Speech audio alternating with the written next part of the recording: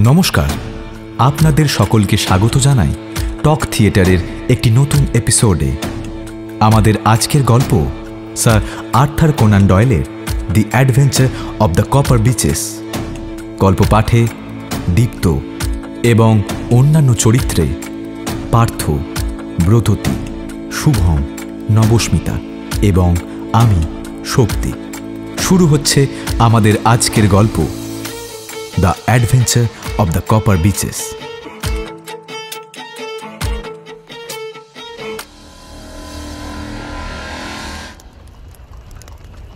daily টেলিগ্রাফের বিজ্ঞাপনের পাতাটা Sherlock Holmes ছুঁড়ে দিল। বললে ওয়াটসন আমার কীর্তি নিয়ে তুমি যখনই গল্প লিখেছ সেগুলো গল্পই হয়ে দাঁড়িয়েছে। রং চড়ানোর দিকে নজর না দিয়ে যুক্তিবিজ্ঞানের দিকে বেশি নিষ্ঠা দেখালে ভালো করতে। কথা বলতে বলতে চেরি কাঠের পাইপটা ধরিয়ে নিল হোমস।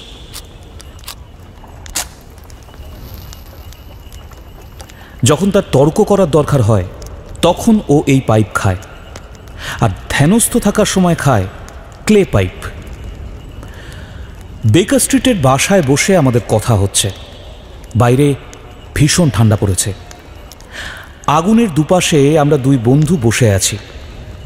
ব্রেকফাস্ট সবে শেষ হয়েছে। খবরের কাগজ খুলে এতক্ষণ বিজ্ঞাপন পড়ছিল হোমস।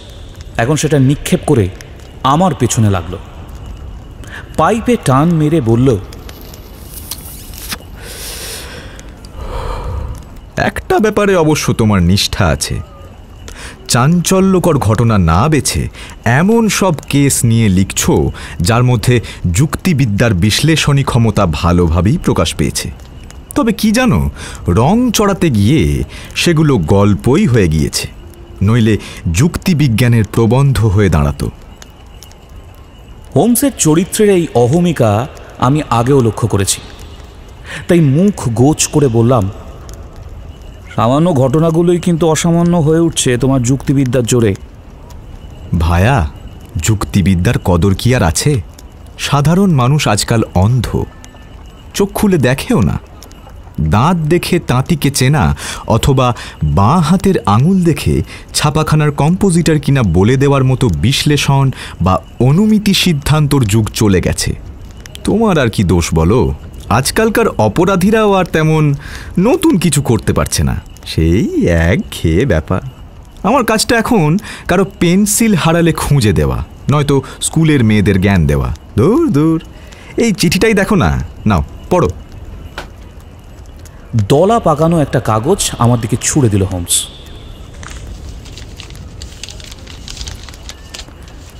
কাগজটা একটা চিঠি।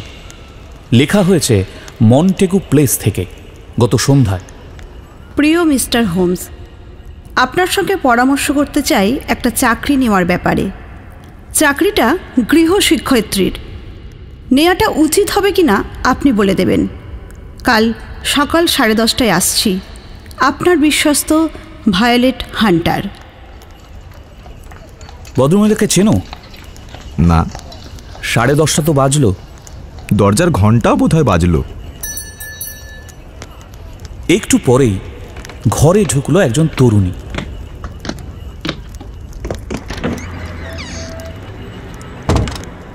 চটপটে চেহারা, চোখে মুখে বুদ্ধির ছাপ। বেশবার সাদা সিদে, কিন্তু পরিচ্ছন্ন। মুখটিতে টিপটিপ পাখির ডিমের মতো মেচে তার দাগ। অভিবাদন বিনিময়ের পর হোমসের হৃষ্ট মুখ দেখে বুঝলাম, মেয়েটিকে তার খারাপ লাগেনি। আপাদ মস্তক সন্ধানী চোখ বুলিয়ে নিয়ে অর্ধ নিমিলিত চোখে আঙুলের ডগায় ডগায় ছুঁয়ে বললে হুম বলুন আপনার কি সমস্যা? মেয়েটি বললে গত পাঁচ বছর যেখানে গৃহশিক্ষয়িত্রীর কাজ করছিলাম তারা আমেরিকায় চলে যাবার পর আমি এখন বেকার। তাই চাকরি জোটানোর একটা সংস্থায় প্রায় ফ্রি হপ্তায় যাই মিস স্টোপার সেখানকার কাজ দেখেন। গত হপ্তায় গিয়ে দেখলাম মিস স্টোপারের সঙ্গে বসে রয়েছেন অসুর বিশেষ এক ভদ্রলোক। থুতনির নিচে চর্বির ভাঁজ চোখে চশমা মুখে দেখুন হাসি। আমাকে দেখেই তড়াক করে লাফিয়ে উঠলেন। বাহ এই তো পাওয়া গেছে। পরম উৎসাহে হাত ঘষতে ঘষতে বললেন মিস টোপারকে একে দিয়েই কাজ হবে। আমাকে জিজ্ঞেস করলেন? মিস চাকরি চাই তাই না? আগে হ্যাঁ। গৃহশিক্ষত্রীর হ্যাঁ। কত মাইনে চাও? কর্নেল মনরো দিতেন মাসে চার পাউন্ড। হ্যাঁ? মাসে চার পাউন্ড? কি অন্যায় কি অন্যায়। সুন্দরী শিক্ষিত একটা মেয়েকে এত কম মাইনে কেউ দেয়? বলতে বলতে হাত ছুঁড়ে চেঁচিয়ে ভীষণ রাগে যেন ফেটে পড়লেন ভদ্রলোক। কিন্তু আমি খুব একটা লেখাপড়া শিখিনি। ফরাসি আর জার্মান ভাষাটা একটু আধটু জানি। সামান্য গান, বাজনা আর ছবি আঁকা। আরে দূর, লেখাপড়ার চেয়ে বড় হলো সহবত। সেইটা না থাকলে ঘরের ছেলেকে যার তার হাতে ছেড়ে দেওয়া যায় কি? এই জিনিস যার মধ্যে আছে, তার মাইনে কখনো একশো পাউন্ডের কম হতে পারে না। তোমার মাইনেও কি তাই হবে? কি? রাজি? মিস্টার হোমস, আমার তখন আকাশের চাঁদ হাতে পাওয়ার মতো অবস্থা বলতে পারেন। পকেট গড়ের মাঠ, দেনাও করে ফেলেছি। তা সত্ত্বেও এত টাকা মাইনের প্রস্তাব শুনে যেন নিজের কানকেও বিশ্বাস করতে পারলাম না। ভদ্রলোক তখন হাসতে হাসতে পকেট থেকে একটা নোট বার করে বললেন আমার অভ্যেস হলো মাইনের অর্ধেক টাকা আগাম দিয়ে দেওয়া। এই খরচপত্র আছে তো।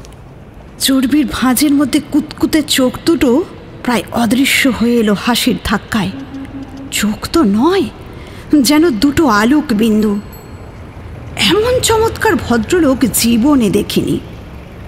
তবুও কীরকম অদ্ভুত মনে হচ্ছিল। ভাবলাম একটু বাজিয়ে নিই, আরও খবরাখবর নিয়ে।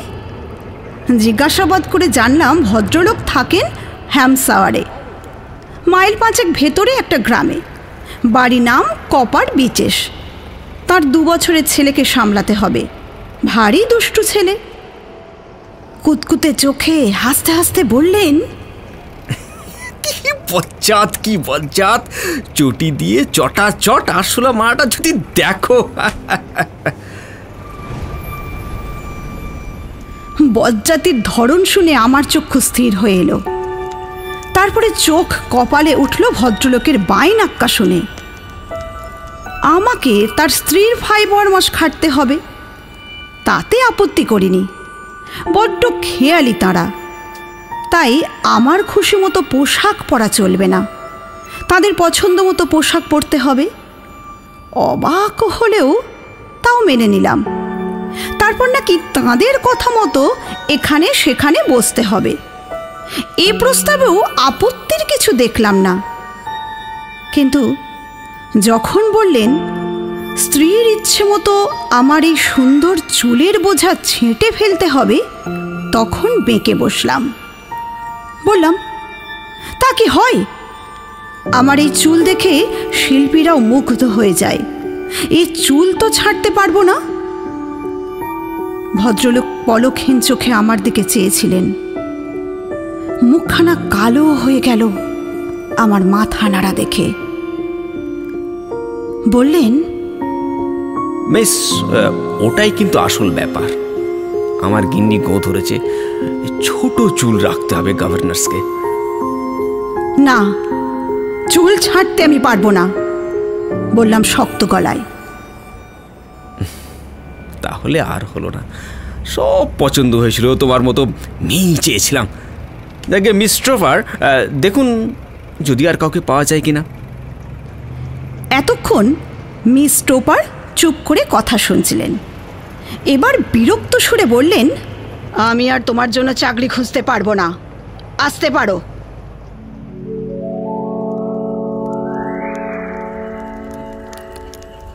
বাড়ি ফিরে এলাম। মনটা খারাপ হয়ে গেল। সংসারে সব কিছুই বাড়ন্ত দেখলাম। ভাবলাম দূর ছাই, চাকরিটা নিলেই হতো।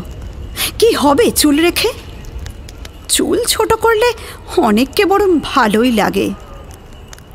বছরে একশো পাউন্ড কি সোজা কথা? ঠিক করে ফেললাম। পরের দিন ফের ধর্ণা দেব মিস টোপারের কাছে।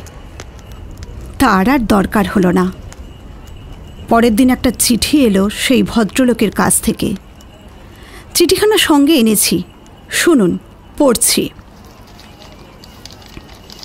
কপার বিচেস প্রিয় মিস হান্টার, মিস টোপার তোমার ঠিকানা দিলেন। তুমি আর একবার ভেবে দেখো আমার চাকরি নেবে কিনা। আমার খেয়াল মেটাতে গিয়ে তোমার চুল কাটতে হবে ঠিকই। তার খেসারও তো পাবে। বছরে একশো বিশ পাউন্ড দেব। বিদ্যুৎ নীল রঙের পোশাক আমার স্ত্রীর খুব পছন্দ। খামোকা কিনে টাকা খরচ করবার দরকার নেই। আমার মেয়ে অ্যালিস এখন ফিলাডেলফিয়ায় গেছে। তার পোশাকটা তোমাকে ফিট করবে। সকালবেলা পরবে এই পোশাক। মাঝে মাঝে এখানে সেখানে বসবে। কোনো অসুবিধা হবে না তোমার। ছেলের সম্বন্ধে খুব একটা ভাবতে হবে না। খুব হালকা কাজ। উইনচেস্টারে এক ঘোড়ায় টানা গাড়ি নিয়ে হাজির থাকব। কোন ট্রেনে আসছো জানাও। ইতি জেফ্রো রুকাসল।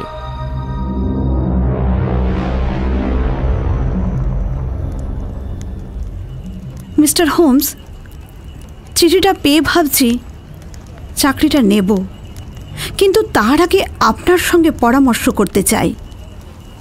মিস হান্টার আমার কোনো বোনকে বলব না এই পরিবেশে চাকরি নিতে। পরিবেশটা আর যাই হোক কোনো তরুণীর পক্ষে অনুকূল নয়। বিপদ আছে। কিসের বিপদ? তা তো এখনই বলতে পারব না।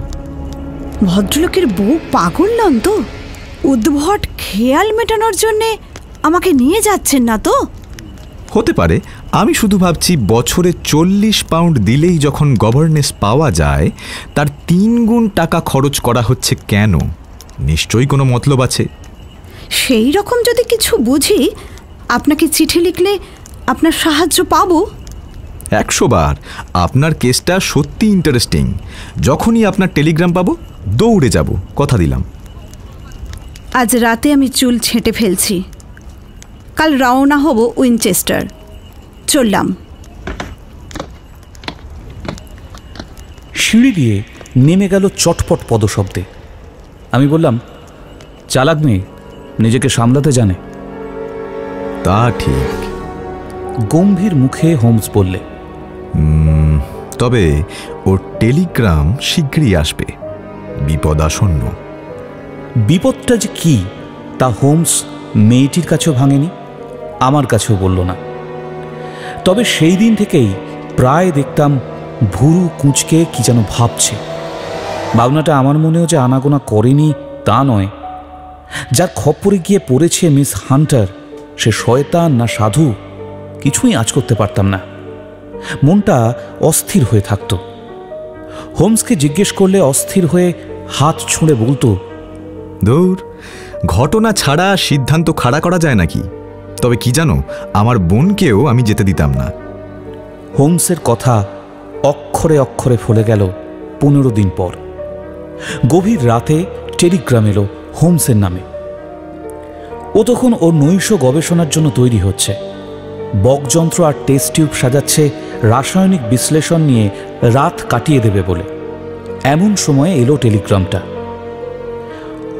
হোমস চোখ বুলিয়ে নিয়ে গবেষণার সরঞ্জাম সরিয়ে রেখে বলল আজ রাতে ঘুম চাই। কাল অনেক ঝামেলা আছে। ওয়াটসন উইনচেস্টারের ট্রেন কটায়? টাইম টেবিল দেখে বললাম সকাল সাড়ে নটায়। টেলিগ্রামটা পড়লাম। লেখা আছে কাল দুপুরে উইনচেস্টারের ব্ল্যাক সোয়ান হোটেলে আসবেন। সব গোলমাল হয়ে যাচ্ছে আমার হান্টার।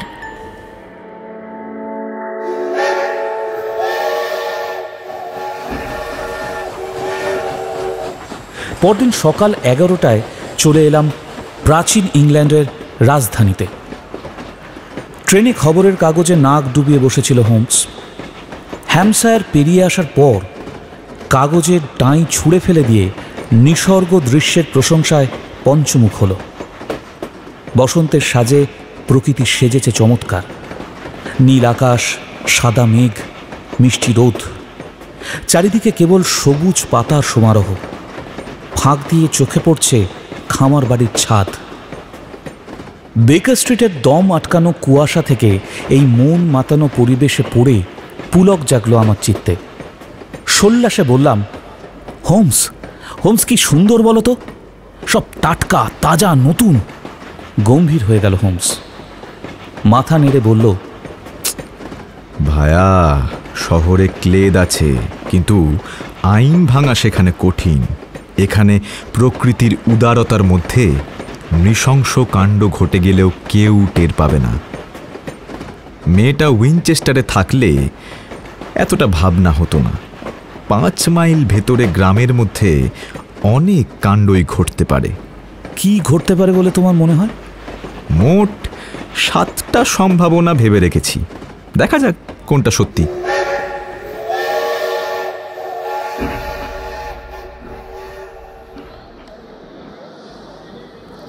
ব্ল্যাক সোয়ান সরাইখানাটা হাই স্ট্রিটের ওপরে স্টেশনের কাছেই মিস হান্টার আমাদের জন্য লাঞ্চ সাজিয়ে বসেছিল। আমরা যেতেই বললে আহ বাঁচলাম আপনাদের দেখে। মিস্টার রুকাসলকে বলে এসেছি তিনটের মধ্যে ফিরবো। উনি অবশ্য জানেন না কেন এসেছি। আগুনের সামনে লম্বা ঠ্যাং ছড়িয়ে দিয়ে হোমস বসল। তারপর বলল বলুন কি দেখলেন? মিস্টার হোমস প্রথমেই বলে রাখি মিস্টার রুকাসল আমার সঙ্গে মোটেই খারাপ ব্যবহার করেননি। কিন্তু ওদের মতিগতি মাথায় ঢুকছে না। খুলে বলুন।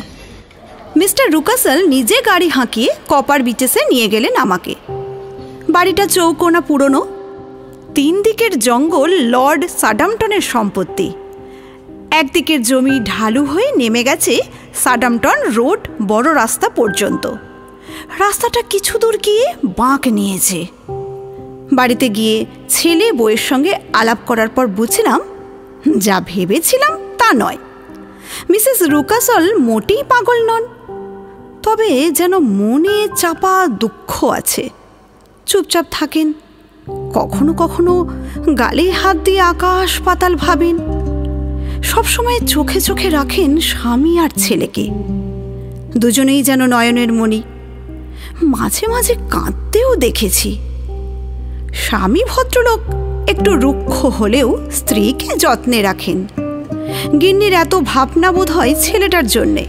ভারী বদ ছেলে, নিষ্ঠুর, হেঁড়ে মাথা বেঁটে গোয়ার, ইতর প্রাণীকে কষ্ট দিয়ে বিকট উল্লাস পায়, আদর দিয়ে বাঁদর করা ছেলে। ভদ্রলোক বিপদনিক।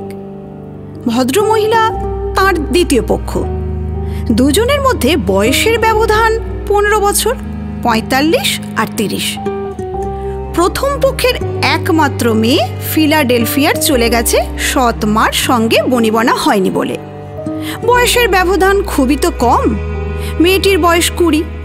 খবরটা মিস্টার রুকাশলি আমাকে আড়ালে ডেকে নিয়ে গিয়ে বলেছেন। দ্বিতীয় পক্ষ সংসার এসেছে বছর সাতেক। খুব শান্ত মহিলা। বাড়িতে ঝি চাকরের পাট প্রায়ই নেই বললেই চলে। প্রথম থেকেই খটকা লেগেছে এই নিয়ে। আছে কেবল দুজন, টলার আর তার বউ। টলার লোকটা চোয়ারে চুলদারি খোঁচা খোঁচা, অষ্টপ্রহর মাতাল। বউটা মদ্দা টাইপের। কিন্তু মুখটা সবসময় নিম তেঁতো। বাড়ির গিন্নির মতোই চুপচাপ থাকা স্বভাব। এদের সান্নিধ্য মোটেই সুখের নয়। তা বাড়িতে এসে দুদিন ভালোই কাটলো। তৃতীয় দিন ব্রেকফাস্ট খাওয়ার পর কর্তার কানে কানে কি যেন বললেন গিন্নি। হাসি মুখে আমার দিকে ফিরে কর্তা বললেন, মিস হান্টার তুমি আমাদের কথা রেখেছ। চুল ছেঁটে ফেলেছ। চমৎকার দেখাচ্ছে কিন্তু। এবার আর একটা কথা রাখো। তোমার বিছানায় ইলেকট্রিক ব্লু কালারের একটা ড্রেস দেখতে পাবে। যাও, পরে এসো। ঘরে গিয়ে দেখলাম সত্যি অদ্ভুত সুন্দর একটা পোশাক রয়েছে খাটে। গায়ে দিতে চমৎকার ফিট করে গেল। যেন আমার মাপেই তৈরি। এলাম বসবার ঘরে। এই ঘরটা বাড়ির সামনের দিকে। পাশাপাশি তিনটে মেঝে পর্যন্ত নামানো বিরাট কাঁচের জানলা আছে স্যাডামটন রোডের দিকে। মাঝের জানলাটার সামনে পেছন করে বসানো চেয়ারে বসতে বলা হলো আমাকে। আমার সামনে দিয়ে পায়চারি করতে করতে মজার মজার হাসির গল্প বলতে লাগলেন মিস্টার রুকাসল। হাসতে হাসতে পেটে খিল লেগে যাবার উপক্রম হলো। গিন্নি কিন্তু রামগরুরের ছানার মতো চুপচাপ বসে রইলেন চেয়ারে। ভাবগতিক দেখে মনে হলো যেন উদ্বেগে ভুগছেন। ঘন্টাখানেক পরে উঠিয়ে দেওয়া হলো আমাকে, ড্রেস পাল্টে ছেলে দেখাশোনা করতে গেলাম। দুদিন পরে আবার হুকুম হলো, নীল বসনা হয়ে জানলার দিকে পিঠ ফিরিয়ে বসবার। এবারও হাসির গল্প শুনিয়ে হাসিয়ে ছাড়লেন মিস্টার রুকাসল। শেষকালে একটা হলদে মলাটের বই হাতে দিয়ে মাঝখান থেকে কয়েক পাতা পড়ে শোনাতে বললেন। একটু পড়বার পরই উনি আমাকে উঠিয়ে দিলেন, পোশাক পাল্টে নিতে বললেন। লক্ষ্য করেছি, কিছুতেই জানলার দিকে মুখ ফেরাতে দেওয়া হয় না আমাকে। পেছনে কি ঘটছে দেখতে দেয়া হয় না। তাই ভীষণ কৌতূহল হলো। অদ্ভুত ব্যাপারটার মানে জানবার জন্য ভেতরটা কেমন যেন আকুলি বিকুলি করতে লাগল। পরের পরে নীল বসনা হয়ে বসবার সময়ে রুমালের মধ্যে লুকিয়ে রাখলাম ভাঙা আয়নার একটা টুকরো। কথার ফাঁকে ফাঁকে রুমাল তুলে ধরলাম চোখের সামনে। প্রথমটা কিছু দেখিনি। দ্বিতীয়বার দেখলাম বাড়ির জমির রেলিংয়ে ভর দিয়ে সাডামটন রোডে একজন দাঁড়িয়ে আছে। রাস্তায় কত লোক যাচ্ছে? এ কিন্তু চলে যাচ্ছে না। ঠাই তাকিয়ে আছে এদিকে। গায়ে ছাই রঙের পোশাক, আকারে ছোটখাটো। মিসেস রুকাসল খড়খড়ে চোখে চেয়েছিলেন আমার দিকে। মনে হলো রুমালের মধ্যে লুকানো আয়না উনি দেখে ফেলেছেন। কর্তাকে বললেন, দেখো দেখো রাস্তার একটা লোক প্যাট প্যাট করে চেয়ে আছে মিস হান্টারের দিকে। তাই নাকি? মিস হান্টারের বন্ধু নয় তো? আগে না এখানকার কাউকে চিনি না আমি। তাহলে বাজে লোক। তুমি এইভাবে হাত নেড়ে বিদেই করে দাও ওকে। রাস্তায় কে দাঁড়িয়ে আছে তা নিয়ে আমার মাথা ঘামানোর দরকার কি? উনি কিন্তু পিড়াপিড়ি করতে লাগলেন। উনি যেভাবে দেখালেন সেইভাবে হাত নাড়লাম। সঙ্গে সঙ্গে জানলার পর্দা টেনে দিলেন গিন্নি ঠাকরুন। এই গেল সাত দিন আগেকার ঘটনা। এরপর আর জানলায় নীল ড্রেস পরে বসতে হয়নি। হুম ইন্টারেস্টিং কেস তারপর? প্রথম যেদিন কপার বিচে সে গেলাম সেদিন মিস্টার রুকাসল আমাকে বারবাড়ির রান্নাঘরের পাশে একটা ছোট ঘরের সামনে নিয়ে গেছিলেন। ভেতর থেকে শেকল নাড়ার ঝনঝন শব্দ শুনলাম। সেই সঙ্গে একটা জন্তুর চলাফেরার খচমচ শব্দ। তক্তার ফাঁক দিয়ে ভেতরে তাকাতে বললেন মিস্টার রুকাসল। তাকিয়েই রক্ত হিম হয়ে গেল। অন্ধকারের মধ্যে জ্বলছে যেন দুটুকরো আগুন, একজোড়া চোখ। মিষ্টি করে হাসতে হাসতে মিস্টার রুকাসল বললেন ওই হলো আমার আদরের ডাল কুত্তা, কার্লো। একবেলা খাইয়ে রাখা হয়। পেটে সবসময় খিদে থাকে। মানুষ পেলেই যাতে ছিঁড়ে খেতে পারে। রাত্রে টলার ওকে ছেড়ে দেয়। তাই বলে রাখি সন্ধ্যের পর বাড়ির বাইরে পা দিও না। টলার ছাড়া ওকে কেউ সামাল দিতে পারবে না। কথাটা যে মিথ্যে নয়, দুদিন পরে চাঁদের আলোয় রাত দুটোর সময় বাগানের দিকে তাকিয়ে তার প্রমাণ পেলাম।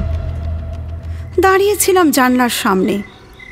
এ বাড়ির কপার বিচেস নাম হয়েছে তামাটে পাতাওয়ালা কপার বিচেস গাছের জন্যে। গাছটা আছে বাড়ির একদম সামনে। তারই ছায়ায় বাছুরের মতো বড় কি যেন একটা নড়তে দেখলাম। তারপরেই চাঁদের আলো পড়ল কালো ছায়াটার ওপর। একটা দানব কুকুর ঝুলন্ত চোয়াল, কালচে নাক, কপেশ বর্ণ, প্রকাণ্ড হাড়গুলো যেন ঠেলে বেরিয়ে আছে। ভয়ঙ্কর সেই আকৃতি দেখে রাতে ভালো করে ঘুমোতেও পারলাম না। এরপর আর একটা আশ্চর্য ঘটনা ঘটল। আগের চাইতেও আশ্চর্য।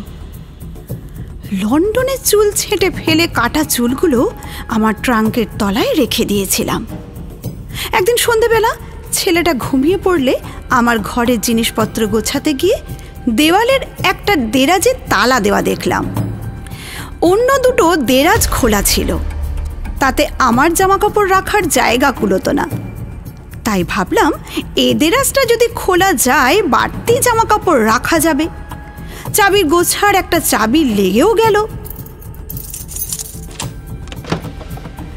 ভেতর থেকে পেলাম সেই কাটা চুলের বোঝা। আমি তো অবাক। বেশ মনে আছে, আমার চুল আছে আমার ট্রাঙ্কে। এখানে এলো কি করে? খুললাম আমার তরঙ্গ। আমার চুল যথাস্থানেই আছে। বার করে এনে রাখলাম দেরাজে পাওয়া চুলের পাশে। মিস্টার হোমস, বললে বিশ্বাস করবেন না। দুটো চুলি এক রকম এক রকম বেনি একই রকম রং। হে কি রহস্য? হাত কাঁপতে লাগল আমার। বেশ বুঝলাম, এ রহস্য যাতে আমি টের না পাই, তাই দেরাজে ছিল। খোলাটা অন্যায় হয়েছে। কাউকে বলাটাও ঠিক হবে না। এর পরের ঘটনাও কম অদ্ভুত নয়। আমি যা দেখি, ভালো করেই দেখি। দেখার ব্যাপারে চোখ আমার ধারালো। কপার বিচেস বাড়িটার একপাশে একটা অংশে কেউ থাকে না। গোড়ার থেকেই লক্ষ্য করেছি। টলার দম্পতি যেখানে থাকে, তার পাশ দিয়ে সেদিকে যেতে হয়। সব সময় তালা ঝুলে অংশটাই। একদিন এই দরজা দিয়ে রাগে, থমথমে মুখে মিস্টার রুকাশলকে বেরিয়ে আসতে দেখলাম। হাতে চাবি। দরজায় তালা দিয়ে আমার পাশ দিয়ে হন হন করে চলে গেলেন। কথাও বললেন না। কৌতূহল হলো। সেই দিকের অংশটা ঘুরে দেখতে গিয়ে খটকা লাগল। পেছনে চারটে জানলা। তিনটাতে ধুলোবালি জমে প্রায় বন্ধ হয়ে এসেছে। আর একটাই কেবল খড়খড়ি দেওয়া। পায়চারি করছি আর জানলা দেখছি। এমন সময়ে হাসি মুখে বেরিয়ে এলেন মিস্টার রুকাশল। কিছুক্ষণ আগেকার সেই গনগনের রাগের চিহ্ন মাত্র নেই মুখে। বললেন তখন তোমার সঙ্গে কথা বলতে পারিনি। কিছু মনে করনি তো? আমি বললাম না না মনে করব কেন? কিন্তু এই দিকে কতগুলো ঘর খালি পড়ে রয়েছে দেখছি। একটাতে আবার খড়খড়ি তোলা। ভদ্রলোক চমকে উঠলেন আমার কথা শুনে। তৎক্ষণাৎ অবশ্য সামলে নিলেন। বললেন। ফটো তোলার শখ আছে তো। ওই হলো ডার্ক রুম কিন্তু তোমার তো দেখছি সব দিকে চোখ। আশ্চর্য? খুবই আশ্চর্য। কথার স্বরে স্পষ্ট সন্দেহ আর বিরক্তি। চোখে কপট হাসি। বেশ বুঝলাম। উনি চান না তালা দেওয়া অংশ নিয়ে মাথা ঘামায়। ফলে কৌতূহল আরও বেড়ে গেল। দেখতেই হবে কি আছে ও ঘরে। শুধু মিস্টার রুকাশল নন, তার স্ত্রীকেও ভেতরে ঢুকতে দেখেছি। একদিন টলারকেও দেখেছি থলি হাতে চৌকাঠ পেরোতে। সুযোগ পেলাম হঠাৎ গতকাল। মাতাল টলার ঘর থেকে বেরিয়ে এসে তালা দিতে ভুলে গেছিল। কর্তা গিন্নি আর ছেলেটাও নিচে। ধাঁ করে ঢুকে পড়লাম ভেতরে। সামনে একটা লম্বা করিডর। শেষের দিকে বাঁক নিয়েছে। সেখানে পাশাপাশি তিনটে ঘর। দুপাশের ঘর দুটোর দরজা খোলা। ভেতরে অন্ধকার আর ধুলো। মাঝের দরজাটা লোহার খিল দিয়ে বন্ধ করা এবং কড়াই তালা দেওয়া। পার্লার নিচে আলো দেখা যাচ্ছে। এটাই সেই ঘর যার খড়খড়ি তোলা থাকে। আলোটা আসছে বোধ হয় স্কাইলাইট দিয়ে।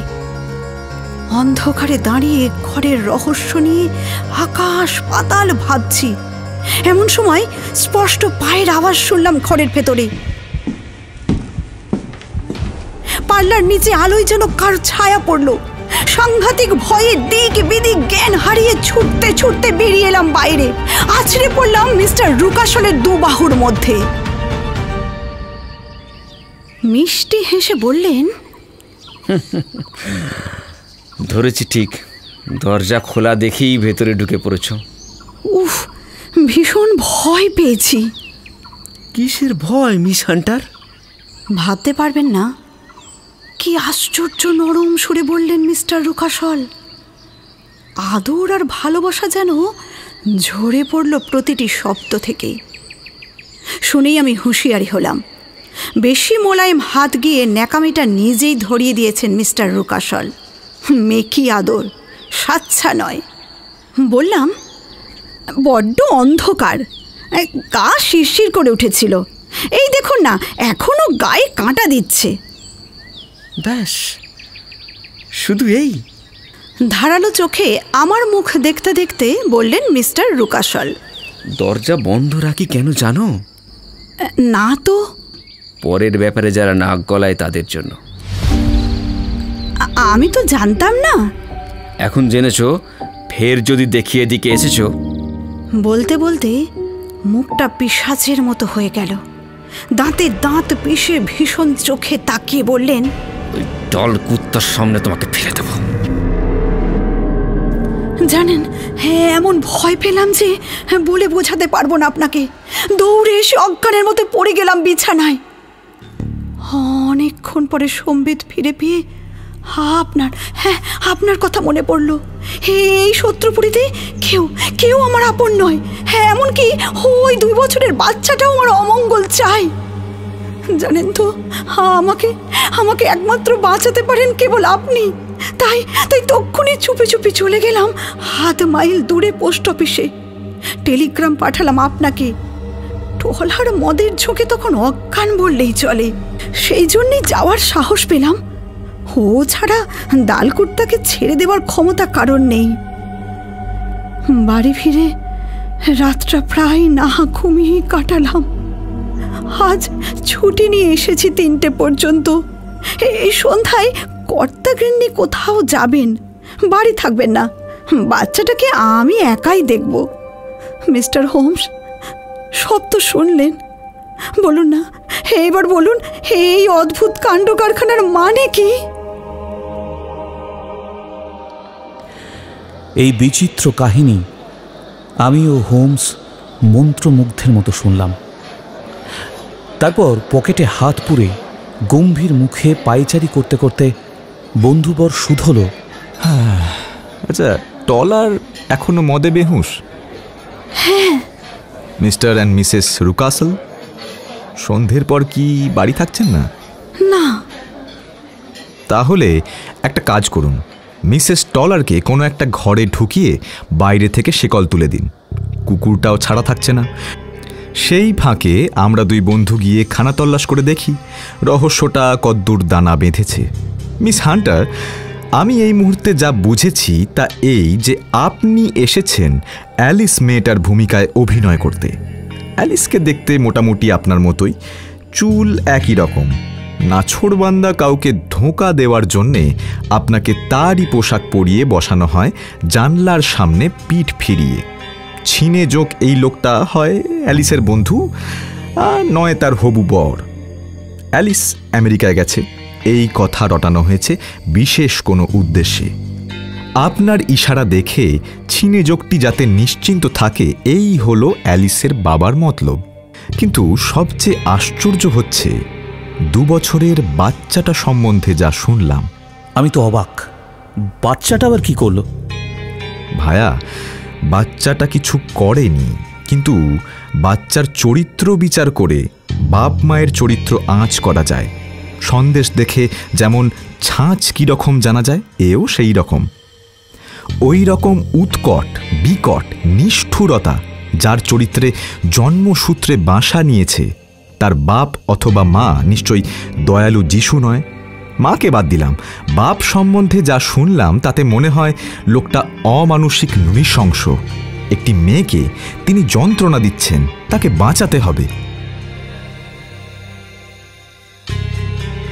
সন্ধে সাতটার সময় হাজির হলাম কপার বিচেস ভবনে। সামনেই সেই গাছ, তামাটে পাতা চকচক করছে পড়ন্ত সূর্যের আলোয়। মিস হান্টার সদর দরজা থেকে হাসি মুখে অভ্যর্থনা জানিয়ে আমাদের নিয়ে গেল ভেতরে। বলল দুমদাম আওয়াজ শুনছেন? মিসেস টলারকে ভাড়ার ঘরে আটকে রেখেছি। বুড়ো টলার এখনও বেহুঁশ। এই নিন এই নিন মিস্টার রোকাশলের চাবির নকল। বাহ ভালোই হলো। চলুন কোথায় যেতে হবে? সিঁড়ি বেয়ে ওপরে উঠে দরজা খুললাম। অন্ধকার করিডোর বেয়ে বন্ধ দরজার সামনে পৌঁছালাম। লোহার পাতটা দরজার সামনে থেকে সরিয়ে নিল হোমস। কিন্তু চাবি ঘুরিয়েও তালা খুলতে পারল না। ভেতর থেকে কোনো সাড়া শব্দ পাওয়া গেল না। সব নিস্তব্ধ। মুখটা কালো হয়ে গেল হোমসের। বিড়বিড় করে বলল, দেরি করে ফেললাম নাকি? ওয়াটসন, কাঁধ লাগাও। দুই বন্ধু মিলে চাপ মারলাম জীর্ণ দরজায়।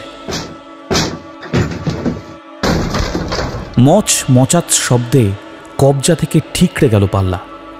হুড়মুড় করে ঘরে ঢুকলাম আমরা। কিন্তু কাউকে দেখতে পেলাম না। একটা টেবিল আর বাক্স ভর্তি কিছু পোশাক ছাড়া কিচ্ছু নেই ঘরে। স্কাইলাইট খোলা। লাফ দিয়ে কড়িকাঠের কাছে উঠে স্কাইলাইট ধরে ঝুলতে ঝুলতে হোমস বললে বাইরে একটা দড়ির মই ঝুলছে দেখছি। পিসাজ বাপ মেয়েকে এদিক দিয়ে সরিয়েছে মনে হচ্ছে। বাইরে যাওয়ার নাম করে বাইরে থেকেই সেরেছে কাজ। ধরি বা শয়তান কোথাকার ঠিক এই সময় পায়ের আওয়াজ পাওয়া গেল সিঁড়িতে। চাপা গলায় হোমস বললে ওয়াটসন মিস্টার রুকাসেল আসছেন মনে হচ্ছে। পিস্তলটা হাতে রাখো। লোক কিন্তু খুব খারাপ। কথা শেষ হতে না হতেই দরজায় আবির্ভূত হলো ভীষণ মোটা বিশাল দেহি এক পুরুষ। হাতে একটা মোটা লাঠি দেখেই আর্ত চিৎকার করে উঠে দেওয়ালে সিটিয়ে গেল মিস হান্টার। এক লাফে লোকটার সামনে গিয়ে দাঁড়াল স্বয়ং শার্লক হোমস। জানোয়ার কোথাকার? কোথায় আপনার মেয়ে? ঘরময় চোখ বুলিয়ে নিয়ে স্কাইলাইটের দিকে তাকালো মোটকা লোকটা। বলল বজ্র হুঙ্কারে তবে রে ওপর চালা কি হচ্ছে। আমাকে আবার জিজ্ঞেস করা হচ্ছে। চোর কোথাকার? কোথায় সরিয়েছিস ওকে? দাঁড়া দেখাচ্ছি তোদের মজা। বলেই করিডোর দিয়ে দৌড়ে সিঁড়ি বেয়ে নিচে নেমে গেল। কুকুর আনতে গেল যে। ভয়ে চেঁচিয়ে উঠলেন মিস হান্টার। আসুক না আমার রিভলভার তো রয়েছে। অভয় দিলাম আমি। সামনের দরজাটা বন্ধ করে দিই চলো। বলেই ঘর থেকে ছিটকে গেল হোমস। তিনজনে সিঁড়ি বেয়ে ঝড়ের মতো নিচে নেমে এলাম। হল ঘরে পৌঁছতে না পৌঁছতেই শুনলাম কুকুরের গুরু গম্ভীর গর্জন। পর মুহূর্তেই একটা তীব্র যন্ত্রণাময় আর্তচিৎকার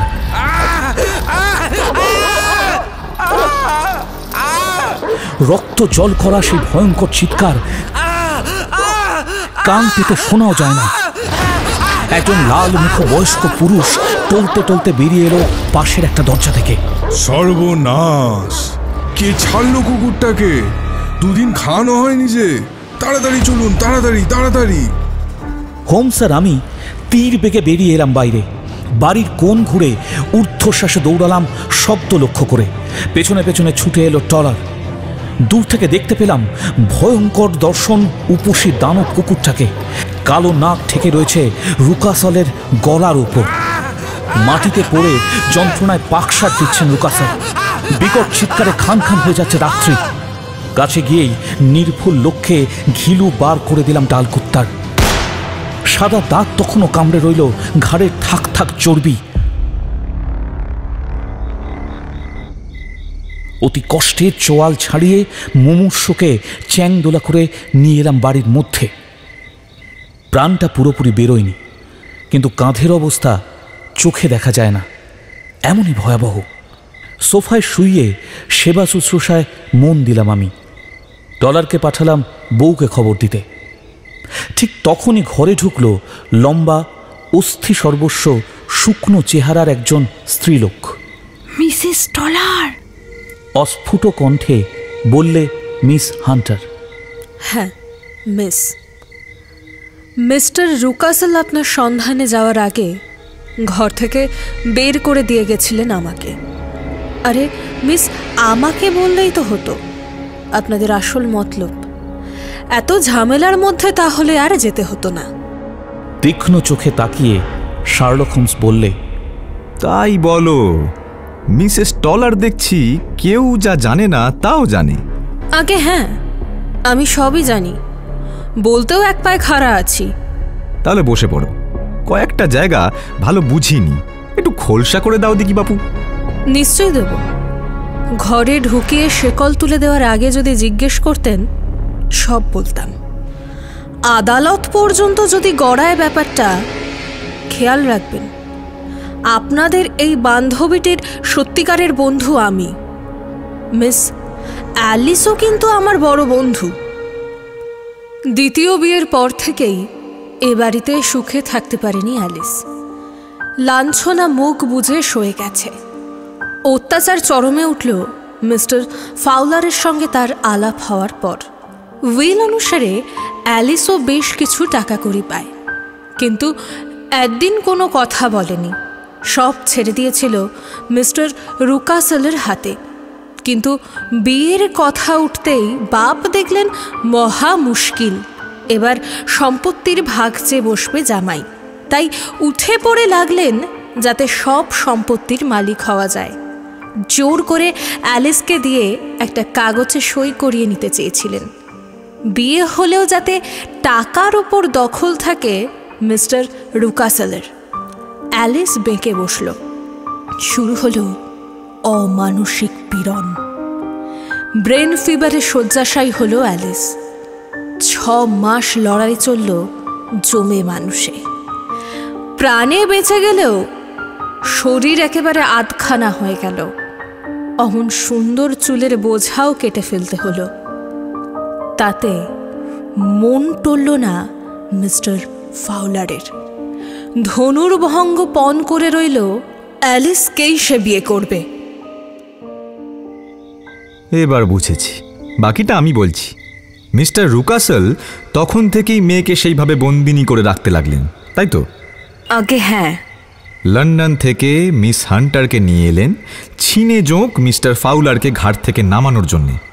মিস্টার ফাউলারের জেদ তাতে চিড় খেল না। অসীম অধ্যাবসায় তাঁর। বাড়ি অবরোধ করে বসে রইলেন। তোমার সঙ্গেও তার একটা বোঝাপড়া হয়ে গেল। বুঝিয়ে দিলেন তার স্বার্থের সঙ্গে তোমার স্বার্থের কোনো সংঘাত নেই। মিস্টার ফাউলারের কথাবার্তাই শুধু মিষ্টি নয় তার হাতটিও বেশ দরাজ। হুম তাই তোমার পতিদেবতার যাতে মদের অভাব না ঘটে সে ব্যবস্থা করে তোমাকে দিয়েই দড়ির মই জোগাড় করে রাখল যাতে মণি বেরিয়ে গেলেই ভাবি বউকে নিয়ে চম্পট দেওয়া যায়। আপনি তো দেখছি ঠিক ঠিক সব বলে যাচ্ছেন। বাহ ডাক্তার এসে গেছেন দেখছি। মিসেস টলার অনেক উপকার করলেন অনেক ধাঁধা কাটিয়ে দিলেন। মিস হান্টারকে নিয়ে আমরা চললাম উইনচেস্টারে। তামাটে বৃক্ষ কপার বিচে সোলা রহস্য নিকেতনের রহস্য এইভাবেই ফর্দা ফাঁই করে ছাড়ল সর্বকালের শ্রেষ্ঠ detective Sherlock Holmes. Mister Rucastle প্রাণে বেঁচে গেলেও খুব সুখে তার দিন কাটেনি। স্ত্রীর আন্তরিক সেবায় দিন চলে গেছে কোনো রকমে। ঝি চাকরকে তাড়ানোর সাহস হয়নি ভদ্রলোকের। ওর কুকীর্তি এত বেশি জেনে ফেলেছিল টলার দম্পতি যে বাড়িতেই তাদেরকে থাকতে দিতে হয়েছে। এখনও আছে। বাড়ি থেকে পালানোর পরের দিনই সাদামটানে গিয়ে বিশেষ লাইসেন্সের জোরে মিস্টার ফাউলারের সঙ্গে বিয়ে হয়ে যায় অ্যালিসের। এখন তিনি সরকারি চাকরি নিয়ে মরিসাসে আছেন। মিস হান্টার একটা প্রাইভেট স্কুলের ভার নিয়ে ওয়ালসালে। তার সম্বন্ধে শার্লক হোমসের আর কোনো আগ্রহ নেই, যা দেখে খুবই হতাশ হয়েছি আমি।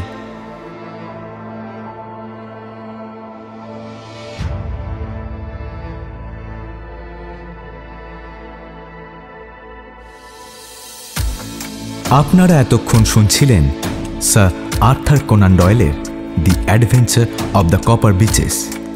গল্পটি যদি আপনাদের ভালো লেগে থাকে, তাহলে লাইক, কমেন্ট, শেয়ার এবং অবশ্যই চ্যানেলটিকে সাবস্ক্রাইব করবেন। দেখা হচ্ছে পরের শুক্রবার ঠিক রাত নটায় টক থিয়েটারের একটি নতুন এপিসোডে power by one feather entertainment thank you